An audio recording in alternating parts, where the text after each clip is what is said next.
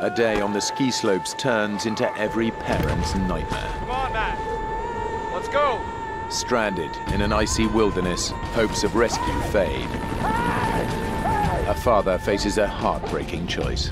Not gonna die. To wait for rescue or go for help, leaving his young son alone in a frozen cave on the mountain. Hardest decision I've ever made to leave a child of mine behind.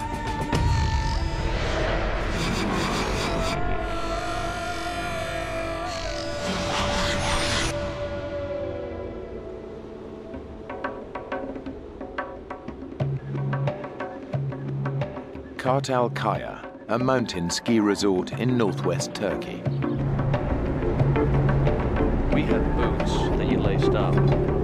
U.S. Air Force Lieutenant Colonel Mike Couillard is taking a few hours off to go skiing with his two sons. Hope we have a load of snowball. Mark is 12 years old.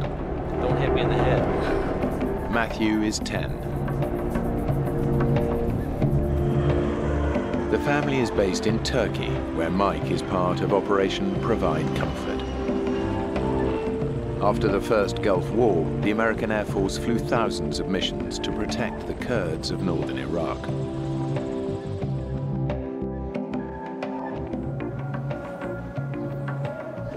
While Mike takes the boys skiing, his wife Mary stays at home with daughter Marisa.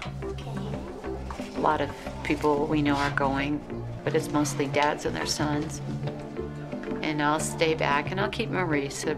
Got you all myself tonight. Mike and Matthew can hang out, and and uh, Mark can be with his friends, and it'll be a great father-son day. Most of the time. For Mike, today's a rare break from duty and an opportunity for a boy's day out. He and the boys are traveling from their home in the Turkish capital, Ankara, up to the remote mountain resort of Kartal Kaya. By American standards, Kartal Kaya is not a real big mountain. It's about 6,000 feet. We'd been there once, and we hadn't really totally explored the mountain, but it was, uh, you know, certainly a good place for us to go with the family.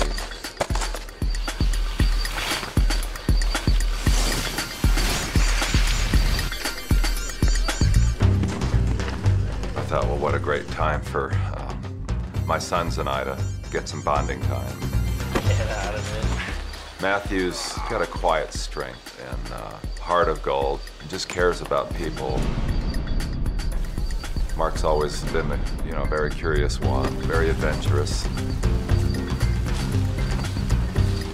After lunch, Mike and Matthew head back up the mountain, while Mark stays behind to ski with his friends. Matthew and I were together, and Mark and his friends gonna go on their own for a while. He said that him and Matt were gonna ski together, and that was the last time I saw him that day. Tired? Are you? We were pretty tired from skiing all day, and the resort was about to close. So we decided to go on one last run and take three different lifts all the way up to the top of the mountain.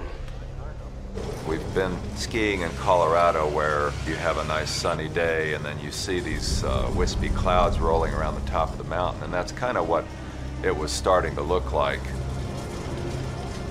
The weather at the top was much worse than at the bottom. The mountain of Kartal Kaya is rarely welcoming. And by the time Mike and Matthew reach the top of the lift, a solid bank of fog has rolled in from the Black Sea. Locals call it the Mister. It produces a whiteout, and the ski slope back down to the resort is no longer visible. There's two different paths you could take, the left or the right.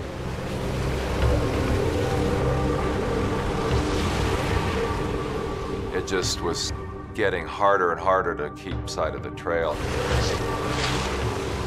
Snow just kept getting thicker and thicker. We started to realize that no one skied down this hill in quite some time. We've lost the lift. I think it's over there. We'll have to sidestep up the slope. Realizing that they've skied down the wrong way, Mike and Matthew start climbing back up the hill.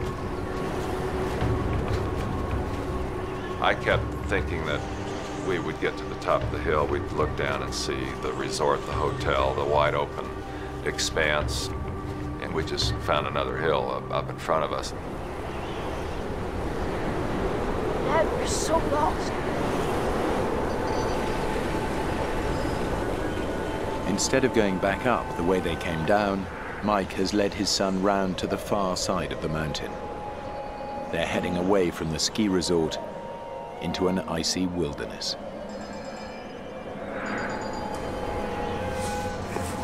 Probably by now it's between 3.30 and 4, and it's already starting to look like the sun's going down and it's getting, getting on towards twilight. Dad, you okay? It's okay. I'm good. Down at the ski resort, the bus home is about to leave. Mark hasn't seen his dad and brother since lunchtime. Uh, when I got to the bus, my brother and dad weren't there. So I figure, you know, the bus will have to wait a minute, but they'll show up, and uh, they didn't. We've gone miles by now. I just knew we couldn't go on. Uh, Matthew was a, just totally exhausted, cold and soaking wet. We were in a complete whiteout and the temperature was dropping by the minute. I just couldn't believe the situation I'd gotten myself into. I mean, it was like one moment we were we were having a nice time skiing in the sun, and then the next we were facing this terrible situation.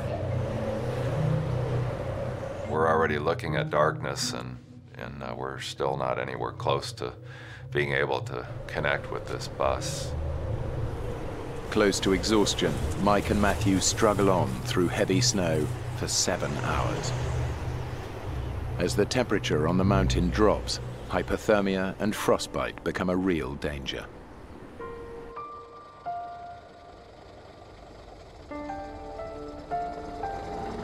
As the bus drove away, it was pretty much that moment when I knew that something was really wrong.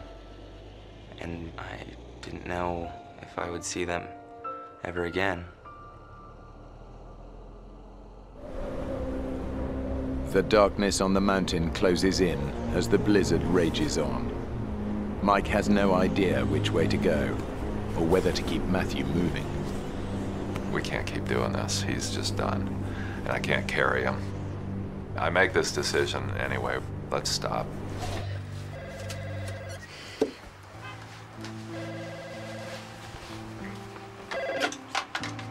Hello? Hello, Mary. It's Wanda. At the ski resort, Mike's colleague, Major Wanda Villiers, is looking after Mark. Look, Mary, there's a bit of a problem. My friend Wanda was on the phone, and she said that Mike and Matthew had not come down off the mountain. Well, where are they? Well, we just don't know. I'd had a lot of survival training. You know, I knew how to make a shelter. So I decided to go up the, the slope a bit and see if I can find a good tree to spend the night underneath. Just took my ski and wove it in between the branches, put our ski poles in there and branches off the surrounding trees and just wove those in and it made kind of like a little roof. The lion's share of your body temperature can be soaked up by just laying on cold ground. So it's very important to get a layer of pine boughs underneath us. What comes from the back of my mind, like a ton of bricks, uh, is the full weight of the situation. Hey, we're gonna be out here.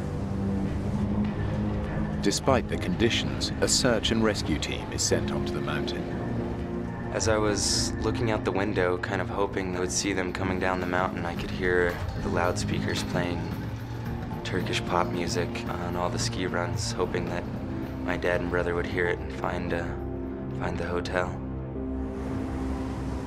By now it's uh, late into the night, and you know, I'm just thinking, you know, how is Marion gonna take this news that we haven't come back? As we're settling in, I'm formulating a plan. What am I gonna do tomorrow? Because uh, tomorrow's got to go on, and we've got to get our get ourselves out of this mess. Mike and Matthew have passed a night on the mountain in a howling blizzard and freezing temperatures. Mike had decided they should stay put. As dawn breaks, their survival depends on being found soon.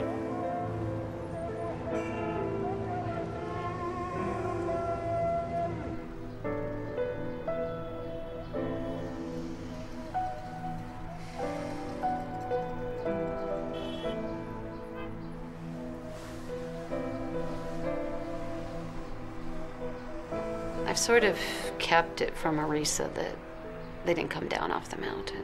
Where's Dad? Come and sit down here. But I know it's morning now and the phone hasn't rung in the middle of the night. So I have to tell her. With daylight, special forces from Mike's airbase swing into action. This time their job is not to protect the Kurds, but to look for one of their own. Turkish troops with their local knowledge join the operation. Mike's commanding officer is leading it.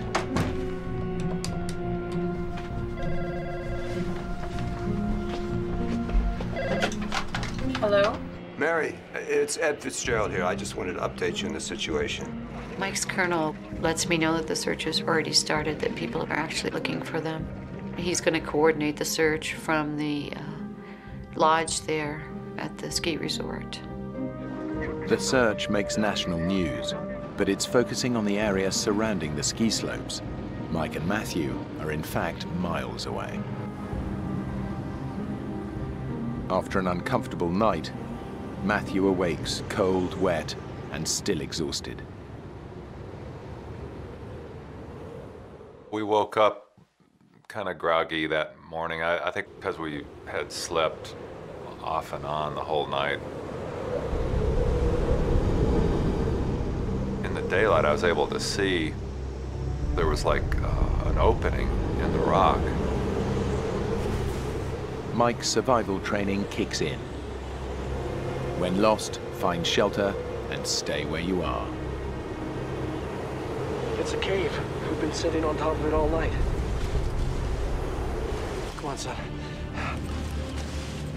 They can stay in the cave and wait to be rescued.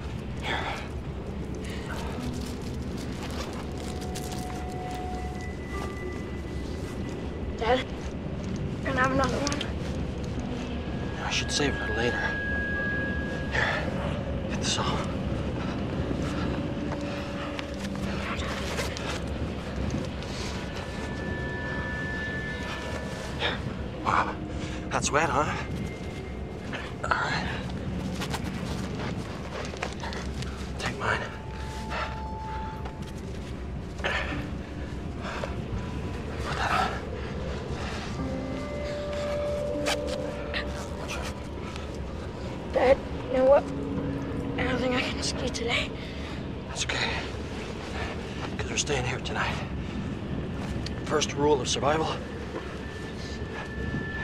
give people a chance to find us. Yeah? They'll be looking for us right now. How will they find us? The snow will stop soon. They'll find us. I knew there were certain things that I could do to enhance our chances of being seen. Just took my skis and planted them as a big X, the international distress signal for skiers. I just hoped that there would be people come up and see those, and they saw the skis and they would be able to find us.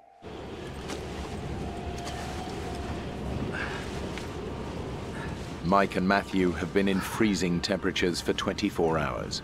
The cave offers protection from the blizzard outside, but little else.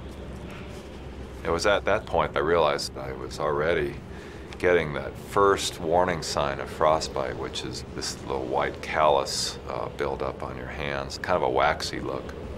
Get this off. These boots were not doing a good job of keeping our feet warm. Let's get a wet sock off. Having looked at my own hands and seen the condition I was in, I decided, you know, maybe I'd investigate Matthew's feet.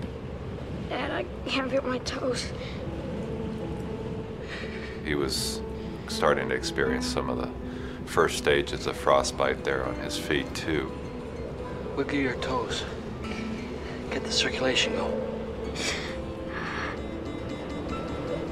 That's it. I'm not gonna put your boots back on. Here, give me your scarf.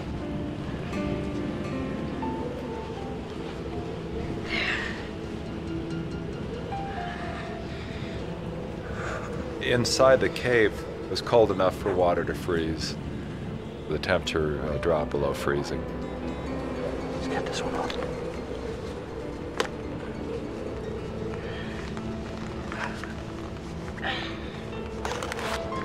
Here we are in this tiny cave, this little crack in the mountain, in a raging blizzard, and we're both in the early stages of frostbite. If we didn't get help, we were just going to die on this mountain. The ground search is cooled off as night falls. It can't begin again until morning. Thanks a lot. All right, bye. I'm getting phone calls. Um, well, it started out once a day, but that just wasn't enough. No news yet, honey. There's just too many hours where we didn't know what was going on, and so you get your hopes tweaked every once in a while, and it just seems like all the little hopes just get, keep getting put out.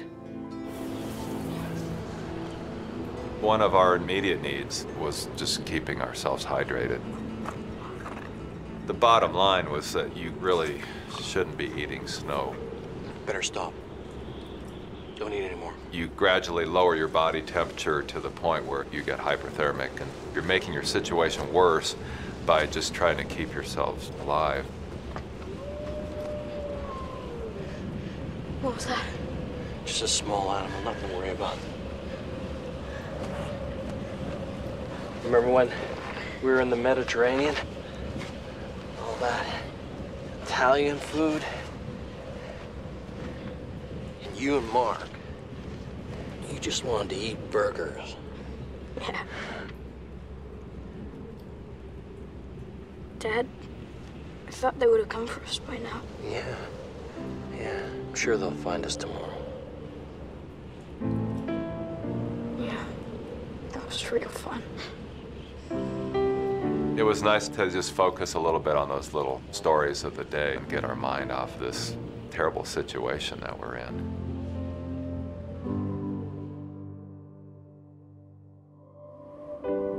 As dawn breaks on the mountain, the storm clears. Thanks. I will. See you, Mark.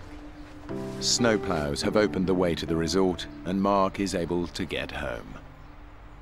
I'm keeping sane because I'm thinking Mike would never leave Matthew. I'm thinking he's had survival training. Dad, I'm real hungry. I'm realizing they probably don't have food, but maybe some of the snacks they took, they just had stuffed in their pockets. It's our last one.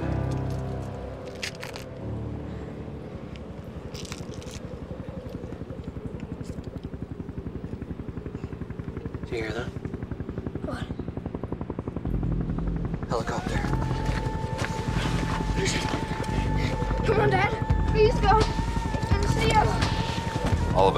A shot of adrenaline took over, and I, all action again, scrambled outside, and uh, to my amazement, this helicopter just literally seemed like it was flying out of the mist.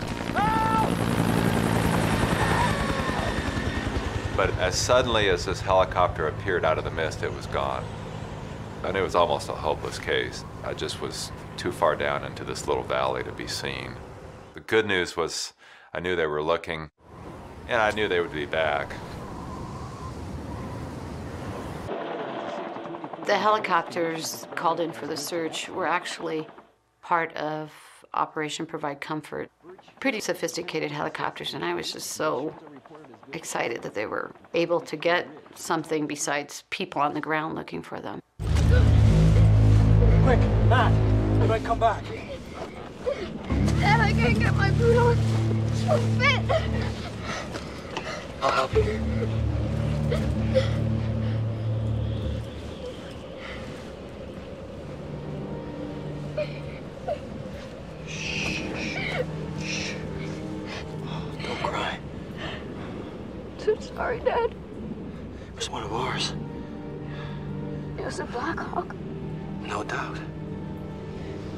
Next time, I'll make sure they see us. To see this Black Hawk was a solid sign that they were putting everything into the search. I knew that would be a challenge if they ever came back, that uh, I'd, I'd have to figure out a better way to be spotted.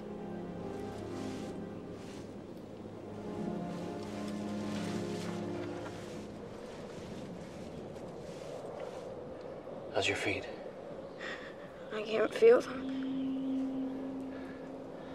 About every 30 minutes to an hour, I would take his feet and put him on my belly and let the core body temperature warm him up. It was also an opportunity to periodically check and see how his feet were doing, and I could see that they were still getting worse. How about that? You want to try standing up, get the circulation going? Oh, Dad, that, Let's just stay here. Mike can't carry Matthew to safety. I'm gonna take your boot, okay?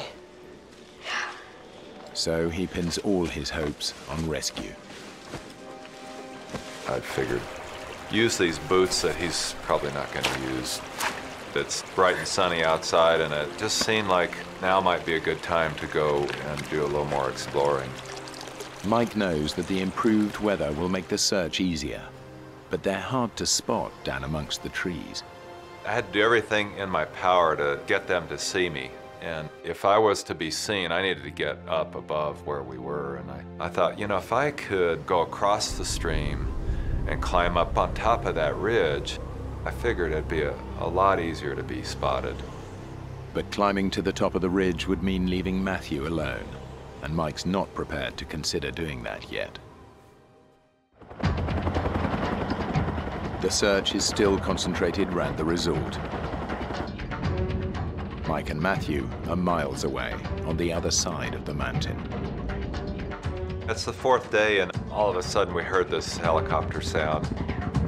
Look out there.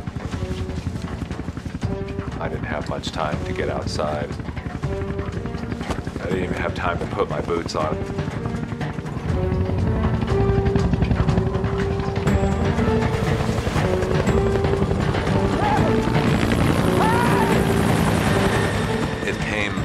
Seemingly out of nowhere. I could even see the American flag painted on the side. It just flew right over the top of us and was gone. It never made two passes. Mike realizes that the helicopters aren't looking for them where they are. They're flying over on their way to a search grid on the other side of the mountain. My hopes took a plunge into despair. They're never gonna find us, Dad. Matt, listen. There's a ridge. I'm gonna try and get to the top of. Maybe see a way out. What's the point? We gotta stay positive. Matt, snap out of it! Dad, you're wrong! We're never gonna get out of here! We're gonna die here! Mike now faces the unthinkable.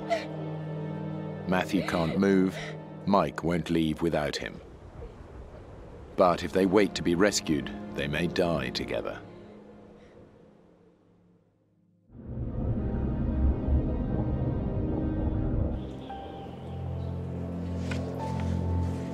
Mike's survival strategy is to wait to be found. He thinks the ski resort, and therefore rescue, is close by and visible from the top of the ridge. But as the days pass, his and Matthew's conditions are deteriorating. I kind of did this morbid calculation that, you know, it'd be better to come back without my feet than not at all. I kept putting myself in that situation where I've left a family behind without a father. I just couldn't face the reality of that. I found myself looking at Matthew as he lay there sleeping, and um, he just looked so peaceful, almost like a little angel as he lay there sleeping, and I became aware of just how fragile he was. One of the new developments is the Office of Special Investigations is coming over. Well, they just wanted pictures, you know, and as current as I could get them. They're talking about putting things in the paper, and I'm wondering, are they trying to figure out if they've found the bodies, what they would look like or something?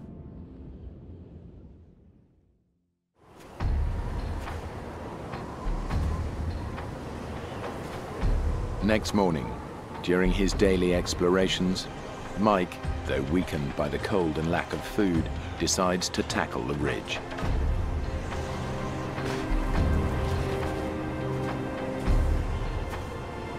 We're hearing helicopter sounds for a long time. They've come by and they've flown directly overhead, but primarily they're over in this one area. This is probably where the ski resort is. They've done the calculation. How far is a father and a 10-year-old child going to go?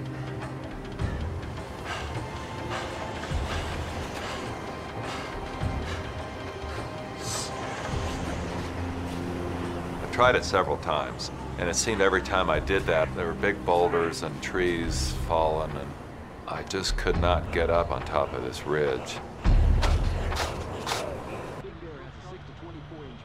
Yeah, I, I understand.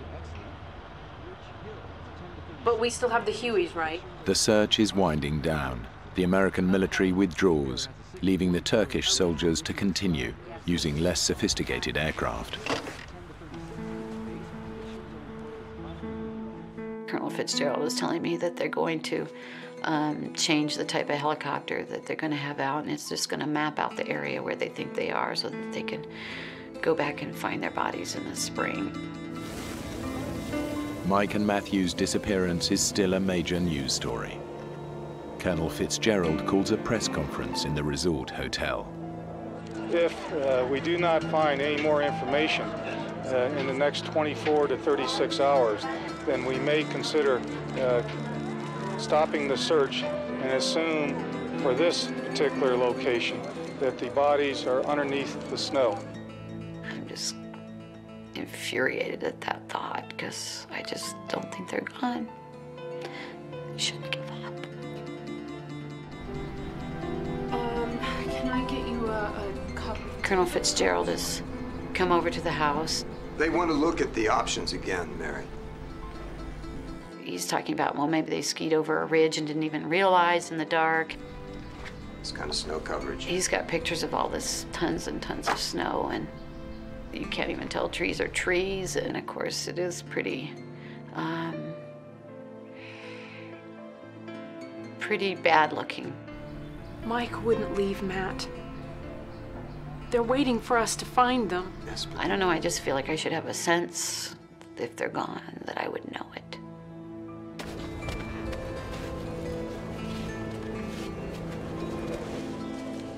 Mike's first attempt to reach the top of the ridge has failed.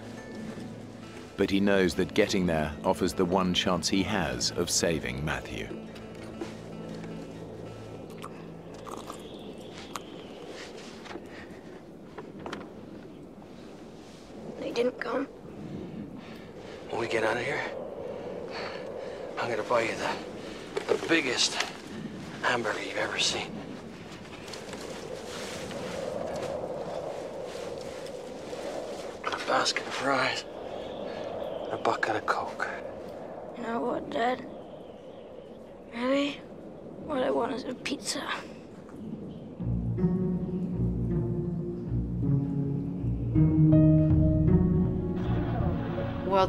Turkish government had decided to do one last big push, and they were going to send out 500 Turkish commandos to search for Mike and Matthew. I just can't believe the amount of people involved in searching for them, and on the other hand, I'm worried if they think they're just looking for bodies, and it's hard to keep being hopeful. Silence on the mountain. There's been no sign of rescue helicopters for days. Mike realizes that staying put is not going to get them rescued. But Matthew can't move, and his condition is getting even worse.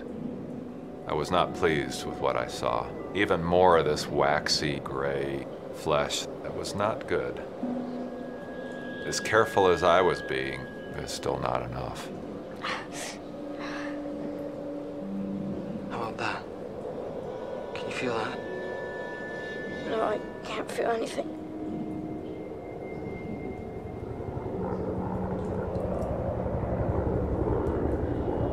A helicopter! Dad! Sounds like a Huey. It's not worth it, son. It's too far away.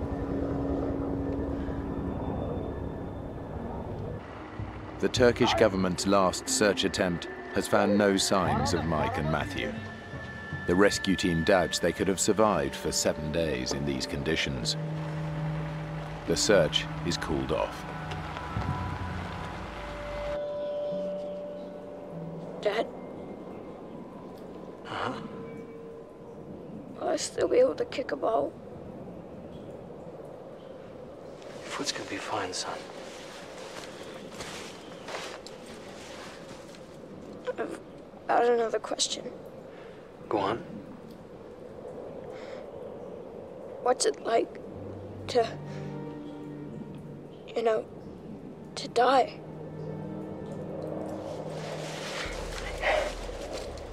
I didn't want him going there, You're not gonna die. but I sort of had to deal with that. I felt like if this gets worse and worse and worse, and we uh, look at death, I need to prepare him for that.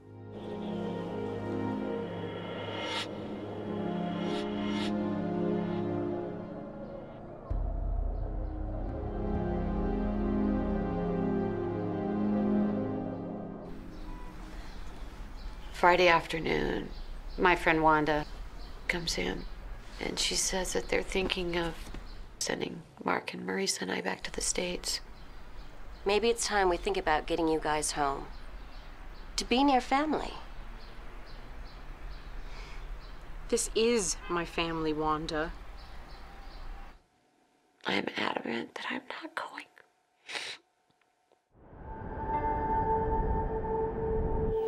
After seven days, I began to wonder well, how long will I even have the use of these hands?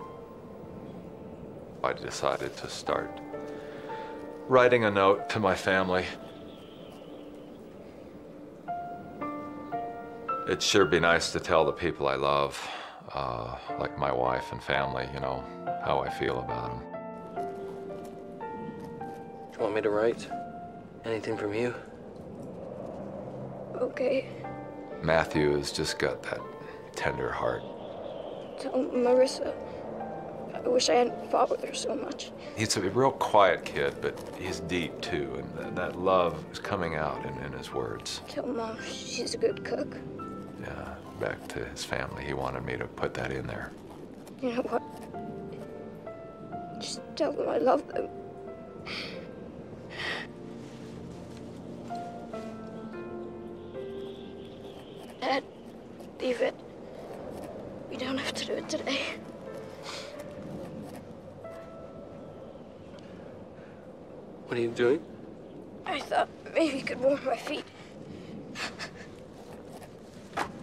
Mike knows they cannot survive much longer. He also knows that it's up to him to find a way out.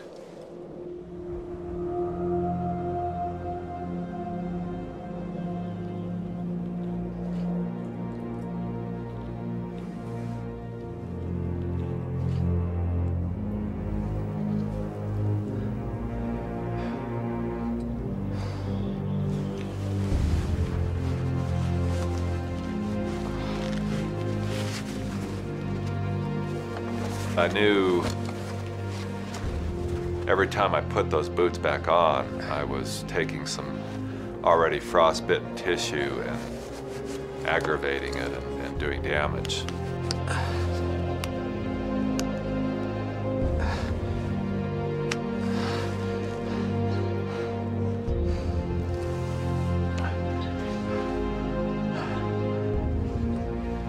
I'm gonna go back up onto the ridge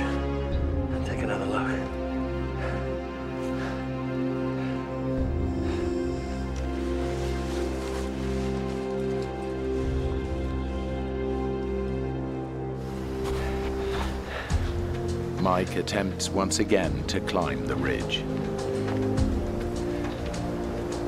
I knew that um, at some point the search is going to be called off. You know, I'd already tried several times, but maybe I can try one more time and get up on this ridge.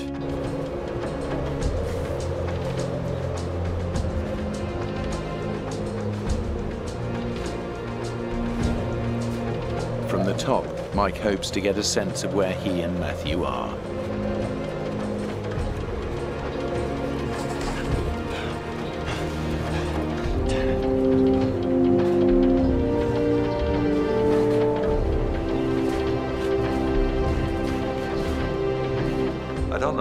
Was successful, but this time I was able to get up. I was able to see a panorama.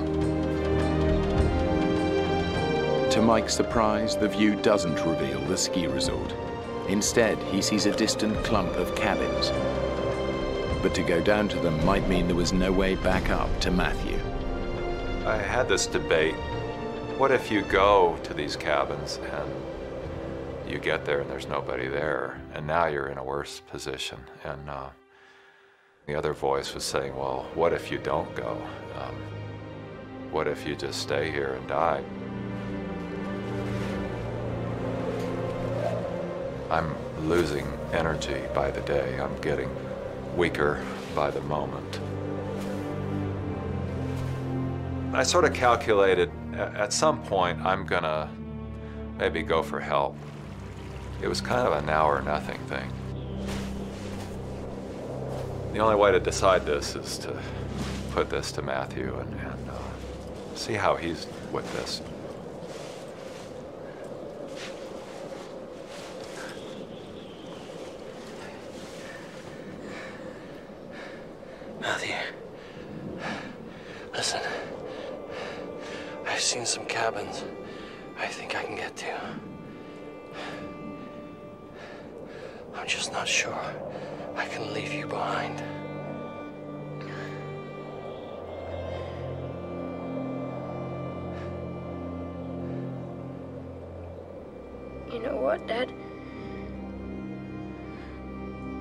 Maybe you should go. Because if we stay here, they'll just be finding our bodies. It was like he was giving me permission.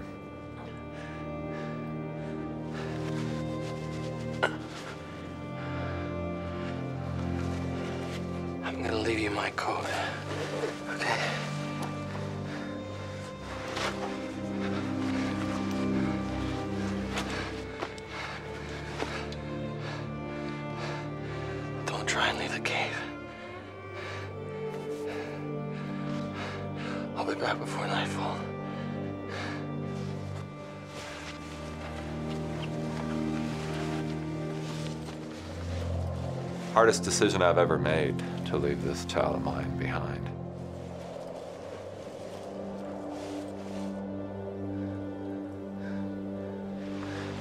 It's tearing my heart out to do that, even knowing that it was the logical best thing to do.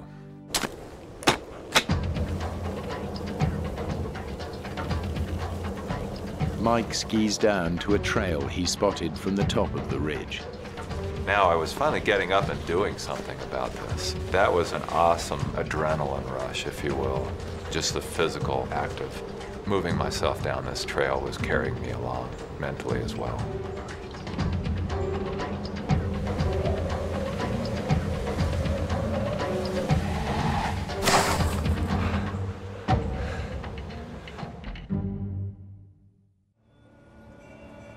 the idea comes up to have a service of hope on the Monday, eight days after they're missing.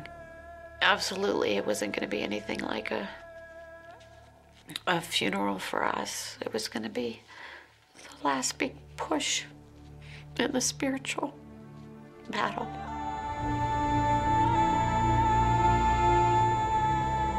Boy, I was really tired. I'd have to stop every five minutes just to catch my breath. Much more weakened state than I thought. But if I could just get there, there would be people there waiting for me to send help back to my son.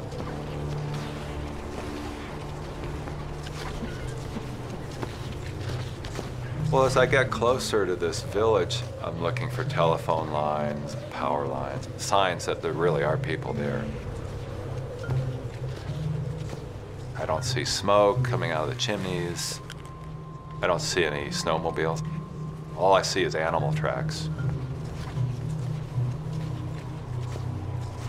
It's pretty obvious that there's nobody there.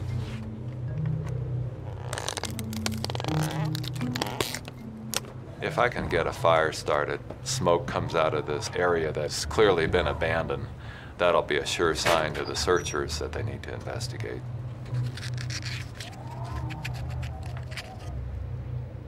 I found a box and it had one match in it.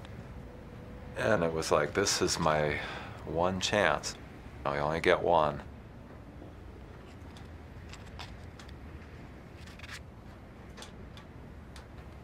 I decided to wait. I thought, well, what's in the other cabins?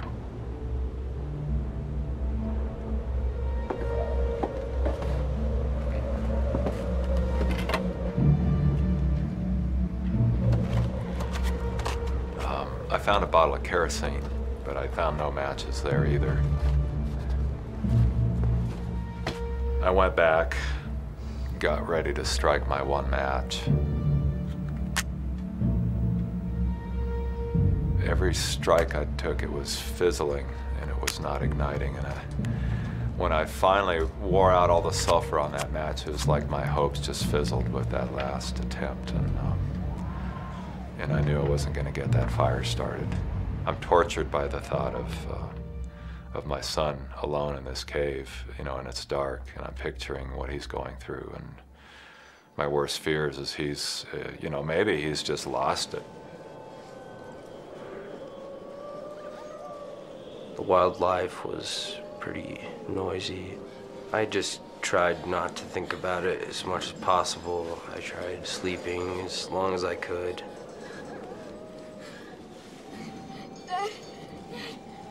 Wasn't there, and I was really scared. Off and on, I was sleeping, and I was in just a torment, just knowing that he was uh, in a worse place than me.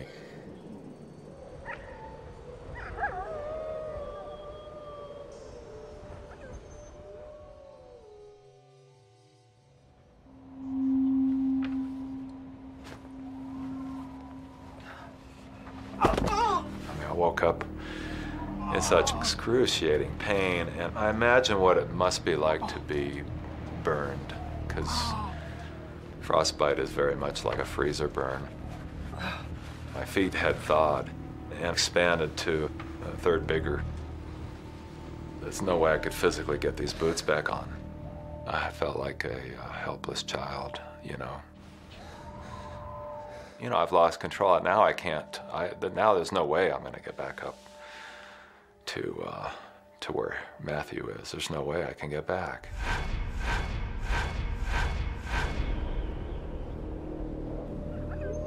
Matthew is alone in the cave. Now Mike too is trapped, alone, exhausted, and unable to move. I drifted off to sleep with this prayer on my lips, like God, just help us, because doesn't seem like anything I've done is getting it done.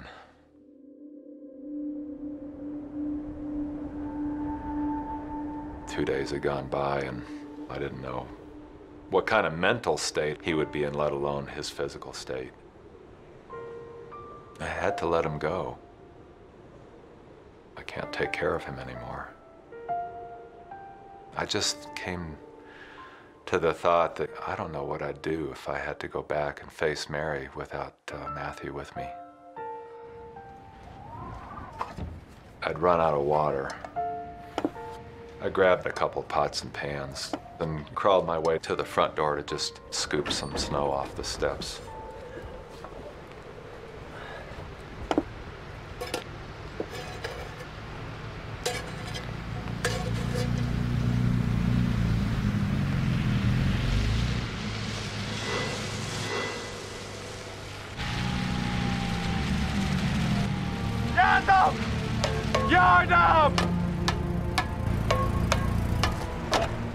Band of loggers has been clearing the trail of fallen branches brought down by the snow. And by pure chance, they stumble on Mike.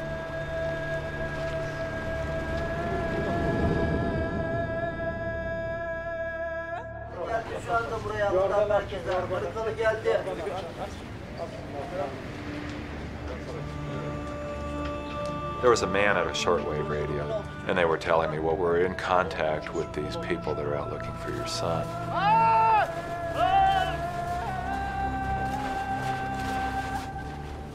I knew that they were doing everything they could to go find him.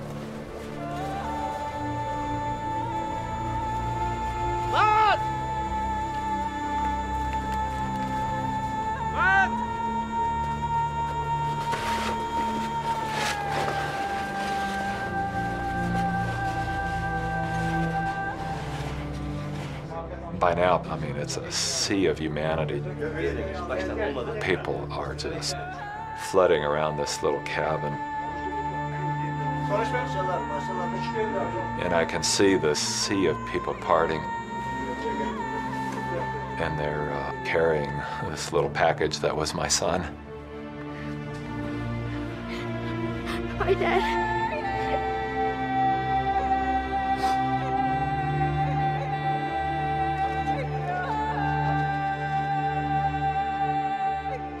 Things were happening pretty quick. You know, they were getting in touch with all the embassy folks. Finally, they put Mary on, and well, I said, "Hey, dear, well, we've been separated a little bit, Matthew and I, but we're okay."